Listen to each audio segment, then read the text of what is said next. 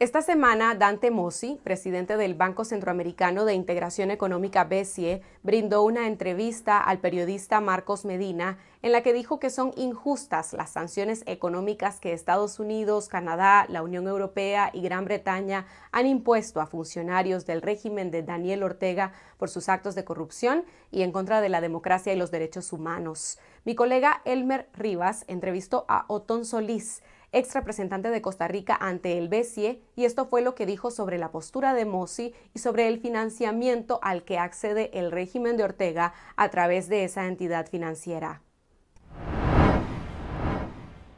Gracias por conversar con nosotros. En una entrevista con Canal 12, el presidente del Banco Centroamericano de Integración Económica, Dante Mossi, abogó por el régimen de Daniel Ortega, alegando que las sanciones internacionales contra funcionarios de su gobierno señalado de violaciones a los derechos humanos son totalmente injustas porque no existe el debido proceso. ¿Cómo evalúa esta posición del presidente del BCE, Dante Mossi, que sale ahora en defensa del régimen de Ortega y de Murillo? A mí me parece en primer lugar un, serio error que se meta en el tema eh, de la política interna desde el cargo en que él está. Pero además, eh, para que el presidente Ortega hable de debido proceso, en el caso de los funcionarios de su gobierno que han sido sancionados por Estados Unidos, debería revisar un poquito lo que ha hecho en su país, donde ha hecho leyes específicas para asegurarse que toda persona que sea contendor a la presidencia de la República esté encarcelada o haya salido del país forzadamente o esté en casa por cárcel. Es decir, ahí el, debido proceso que hubo fue montar en la Asamblea Legislativa, con la mayoría que tiene, eh, una normativa que le permita evitar que haya competencia electoral y eso no es debido proceso. Eso es, se llama legislación singular. Es hacer una legislación específica para condenar a rivales políticos y eso no tiene nada que ver con debido proceso. Mose dijo que con esas sanciones se juzga a personas sin el debido proceso, pero en Nicaragua Daniel Ortega ha asesinado, encarcelado y condenado a centenares de presos políticos. ¿Acaso alguna vez el presidente del BCE ha abogado por el debido proceso de los presos políticos en Nicaragua?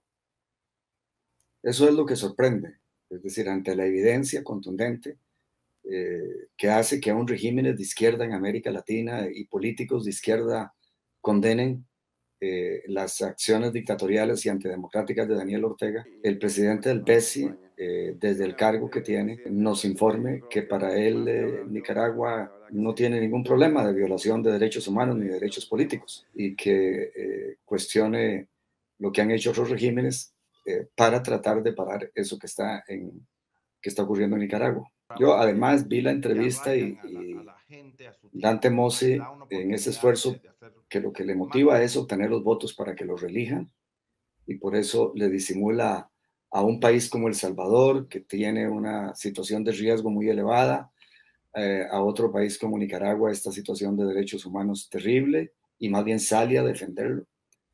Eh, y habla de transparencia. Es decir, y, yo quisiera que, el, que Dante Mose le contara, eh, o que ustedes como periodistas le preguntaran, a ver si informa, ¿cuánto se ha ganado solo en viáticos Dante Mose este año? ¿Cuántos viajes ha hecho? ¿Cuánto le han costado a los centroamericanos? Porque todo lo que él gaste es de los centroamericanos. Y hace un par de semanas se llevó a todo el directorio del BESIA y a una gran parte del staff a, a Corea, a un viaje que debe haber costado más de un millón de dólares, según la información que tengo en una Centroamérica que eh, tan pronto como sale, empieza a salir de la pandemia, entra otro tipo de problemas económicos.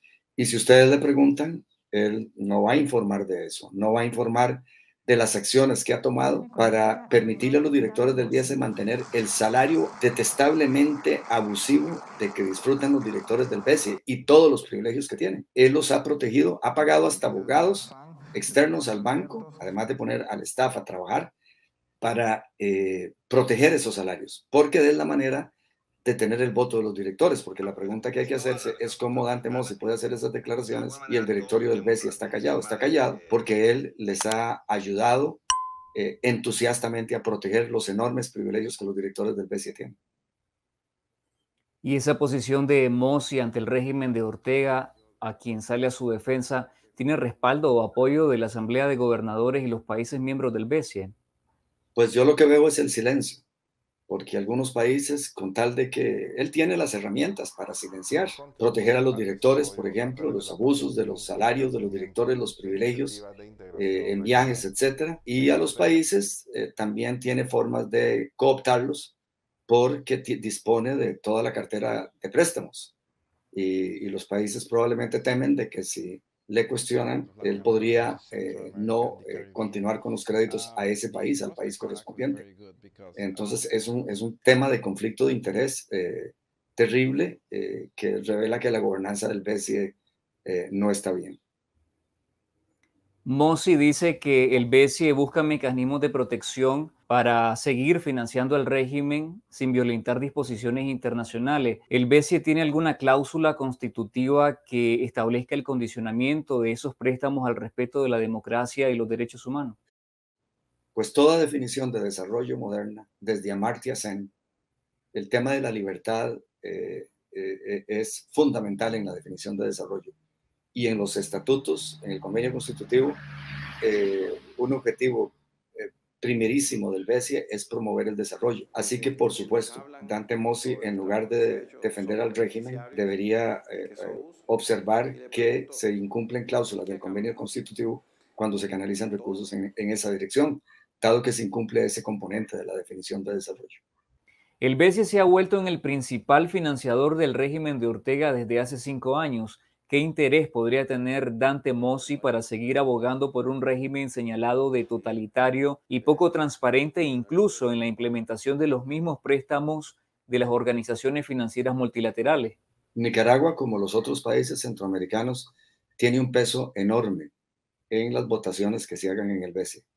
Y lo que él ha buscado en hacer, eh, hacerse de la vista gorda en relación con los temas de Nicaragua y la situación política y la violación a los derechos políticos y los derechos humanos es eh, evitar que Nicaragua se una a, por ejemplo, cuando estaba yo en el BESI y clamaba porque se incrementara la transparencia, la ética y se pusiesen límites a una serie de abusos que hay en el BESI. Y porque Dante, su principal programa en el BESI es la reelección, que viene pronto, digamos, el año entrante.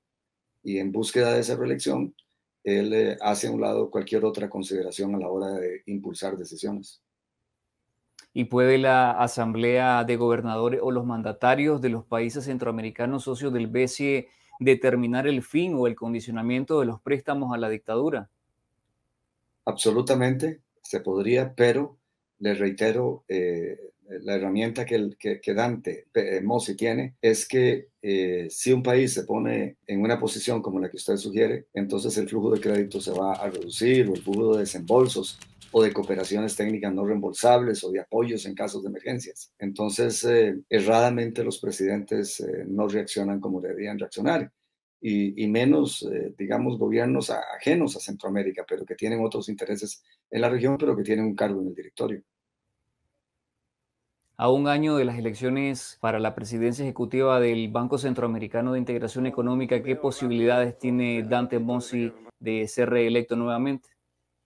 No conozco la situación, yo no he hablado con los países, eh, pero eh, creo que por la forma en que él ha ido eh, mercadeando las ofertas del banco y los créditos, etcétera, con cada país, debe haber tenido éxito en armar una mayoría para ser reelecto, pero no tengo información detallada.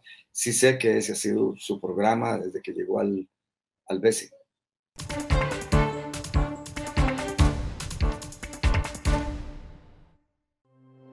Confidencial, 25 años investigando y contando la verdad, la política, la economía y la sociedad.